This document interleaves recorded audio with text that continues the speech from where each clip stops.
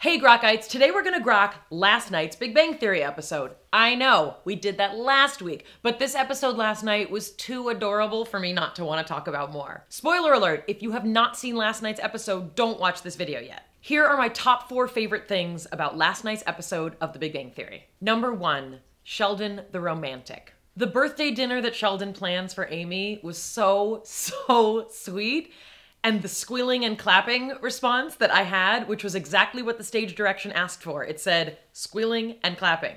That was exactly the spontaneous reaction that I thought that Amy would have. I literally just had to think about what would this be like and that's the reaction that you see. Number 2, sickness. I've been told that people were both shocked and impressed by how disgustingly sick I looked as Amy for the scenes where Amy and Sheldon have food poisoning. I've also been told that someone remarked, wow, there's an actress with no sense of vanity. And I take that as a compliment as an actor. It's true. I don't have a sense of vanity when it comes to portraying this character.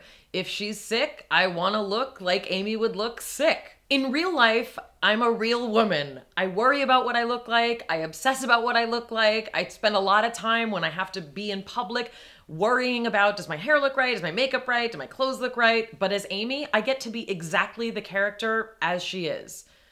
To get this sick look, it took a bit of makeup. Those are dark lines drawn under my eyes. That's how we make us look sick, but a lot of it is the attitude and really embracing what the makeup artist is giving you. Number three, perception. I don't know if any of you will relate to this, but when I was told that I'd be wearing like big slouchy sweats in the sick scene, I was like, great, sounds great. And when I put them on, I was like, oh, these sweats are so huge. Like, I'm swimming in them. I look like those models in the lingerie catalogs who were like, mm, I'm in my slouchy sweats. But then when I saw the scene on camera the next day after we filmed it, the first thing I thought was, those sweats don't look that big on me. It was really terrifying because my perception was that, whoa, these are so big. But in actuality, this is what my body looks like. That was me in slouchy sweats playing Amy, laying on the bed like a beached whale. And that's okay. Number four, the joy of intimacy. It's kind of a running gag now that Amy and Sheldon keep trying to have coitus once a year for the past couple years, and they keep getting interrupted.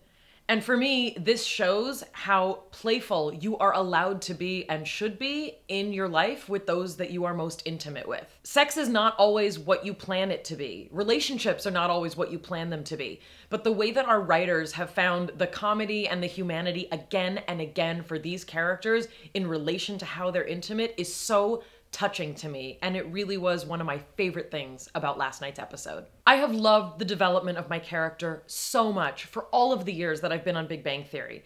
But this past year in particular has been so much fun. I've learned so much from Amy. I've had to push past my insecurities. I love my job, and I hope that you love watching all of us do our jobs on The Big Bang Theory. For more information about this episode, check out the blog that I wrote about it at groknation.com and subscribe here for more Big Bang Theory related and other related stuff. Thanks for watching. Leave your comments below and see you next time.